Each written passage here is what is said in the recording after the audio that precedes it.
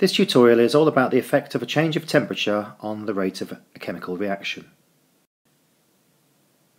This tutorial covers the foundation level. Uh, those parts of the syllabus here in yellow are foundation level only and those in white are covered on the foundation and the higher level paper. One of the ways in which you might investigate the effect of a change in temperature on the rate of reaction is to look at a reaction which involves making a gas. This one, which is the reaction of marble chips here with, for example, hydrochloric acid in the tube, produce carbon dioxide and the carbon dioxide is here collected in a gas syringe. And we can measure the total volume of gas in the gas syringe every 10 or 15 seconds or so until the reaction is completed.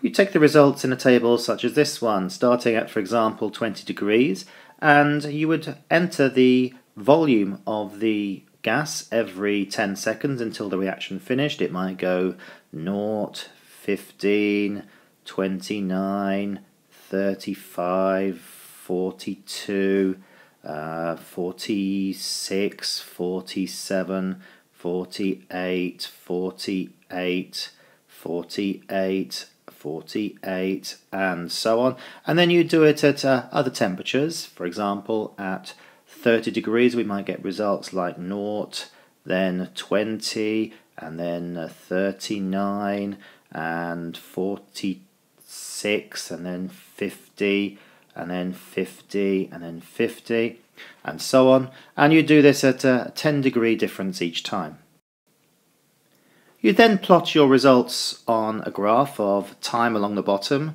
against the volume of carbon dioxide on the side and each of the graphs would give you a curve a little like this. For example, this one at 20 degrees C and if we were to draw one for 30 degrees C it might look like this and at 40 degrees C it might be a little steeper. The steepness of the graph giving you a measure of the rate of reaction and the more steep the graph is at the beginning the faster the initial rate of reaction. This would show you that the higher the temperature the faster the rate of reaction. Explaining this requires something called the reacting particle model. Now what you have to understand is that many chemical reactions occur because of collisions between particles. All matter is made out of particles, and these particles can only react with each other if they physically collide with each other. Now, the rate of the reaction will depend upon just how many successful collisions there are between particles, or more importantly, the rate of those collisions, or how frequent they are. When you increase the temperature of a substance, that means that the particles gain energy. They gain kinetic energy, which makes them move around faster. If the particles are moving around faster, then the collisions that they have will be, first of all, more frequent. But also, those collisions are more likely to be successful collisions because the collisions will have much more energy. And if they're more energetic collisions, these are collisions which are more likely to result in the particles reacting with each other and making the product. Glancing collisions or low energy collisions are unlikely to lead to a successful reaction. This is shown on this picture. On the left we have a solid which is represented by the black particles which are close together and we have a solution or particles in solution. This might, for example, be the hydrochloric acid, which is represented by the red particles which are moving. And the movement of those particles is represented by the size of the arrows. On the left-hand side, at a low temperature, the particles have got a low amount of energy, a low amount of kinetic energy, which means that they are moving slowly. They'll collide with the solid particles, but not very frequently. On the right-hand side, however, these particles here of the acid have got more energy and therefore they're going to collide with the solid particles much more frequently. And also the collisions with the solid particles are going to have more energy. They're going to hit them harder and that's going to lead to more successful collisions and therefore a faster rate of reaction. So raising the temperature increases the rate of reaction because the collisions are more frequent and have more energy.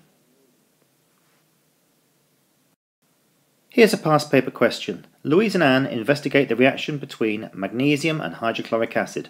Look at the diagram, it shows the apparatus they use. Well here they're using another solid, this time magnesium, in an acid, hydrochloric acid. And this would react to produce hydrogen gas, and the hydrogen gas would travel through the apparatus and collect in the gas syringe. So they're using 0.2 grams of magnesium and 25 cubic centimeters of hydrochloric acid, and the temperature of the acid is 25 degrees Celsius. Look at the graph, it shows their results. The first question says, what volume of gas is made in the first four minutes? For this type of question, you'd use a ruler and read up from the four minute mark up to the curve and read across to the other scale, and this would read 15 cubic centimeters. The reaction eventually stops. Explain why. Well, here the reaction has stopped when the volume of the gas has reached about 25 cubic centimeters, and this is because of one of two reasons. Um, it would be because the acid has all been used up or alternatively, you might say because the magnesium has all been used up, or more generally, because one or other of the reactants has all been used up.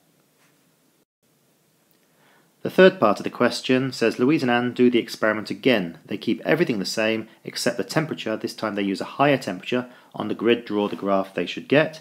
Well, here there's two marks. One mark for showing that the graph would be steeper because the reaction is faster, and one mark for levelling the final volume of gas off at the same as previously.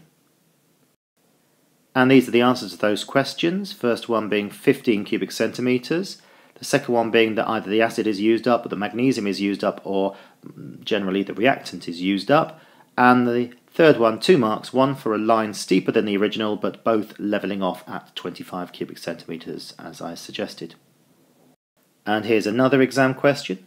Magnesium ribbon reacts with dilute hydrochloric acid. Look at the photograph, it shows 0.5 grams of magnesium ribbon reacting with 70 cubic centimeters of dilute hydrochloric acid. Look at the equation for this reaction, which is written here for us. Write down the formula of one product of the reaction.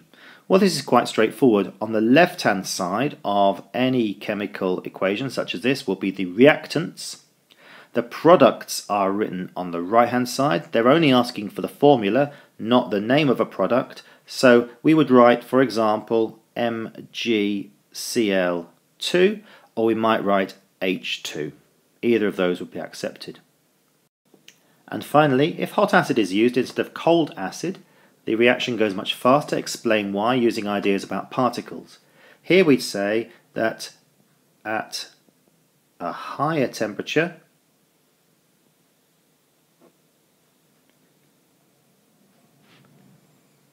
the particles gain energy and move faster. So, getting onto the particle collision theory, there are more frequent collisions.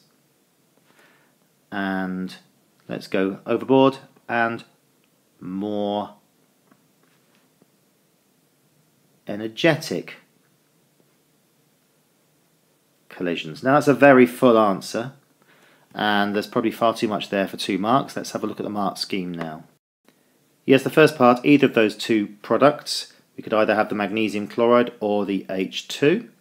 Um, and second part, the one we just looked at, the particles move faster or they've got more energy and they've got more collisions, preferably more collisions per second, meaning more frequent collisions. They'd also allow more energetic collisions, uh, more successful collisions, uh, and or more particles have enough energy to overcome the activation energy, although strictly that's a higher level answer and not on this part of the specification for you.